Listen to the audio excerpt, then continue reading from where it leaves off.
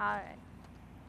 Hi, I'm Lance Corporal Yiveni Cardoso Rosas from hometown Paxton, Illinois. I am currently deployed in Camp Leatherneck, Afghanistan, and I just wanted to wish everyone back home happy holidays and have a great Merry Christmas.